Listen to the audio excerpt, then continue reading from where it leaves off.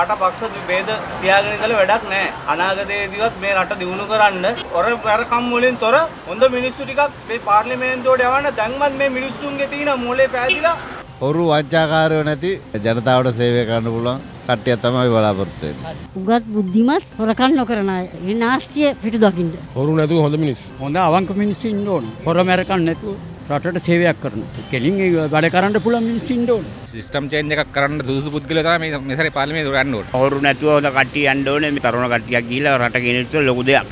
යම් කිසි දැනුමක් තියෙන රටක ආර්ථිකයක් තේරෙන කෙනෙක් තමයි ඒතනට සුදුසු කියලා මන්නම් හිතන්නේ. මහජනයට වැඩ කරන මිනිස්සු තමයි පාර්ලිමේන්තුවට යන්න ඕන. හොඳ වැදගත් බුද්ධිමත් මිනිස්සුන්ගේ දුක හඳුනන සාමාන්‍ය ජනතාව සේවයක් කර හැකි පුද්ගලෝ තමයි පාර්ලිමේන්තුවට යන්න ඕනේ. හොඳ මිනිස්සු යන්න ඕනේ. ඒකට මම කියන්නේ ඕක රට ගෙනියන්න මිනිස්සු යන්න ඕනේ. නිකන් හොරකම ආරමය හරියන්නේ නැහැ. පාර්ලිමේන්තුව උගත්කම යන්න ඕනේ. නීතියට වැඩ කරන කට්ටිය යන්න ඕනේ. ඔය වැදගත් මිනිස්සු තරණ කට්ටිය යන්න ඕනේ. ජනතාවට සේවයක් කරන්න මිනිස්සු විතරයි එන්න ඕනේ. බුද්ධිමත් කට්ටියක් තමයි යන්න ඕනේ. නැතිව මේ එක එක පගා ගහන හොර වැඩ කරන දූෂණය කරන අය ගිහිල්ලා වැඩක් නැහැ.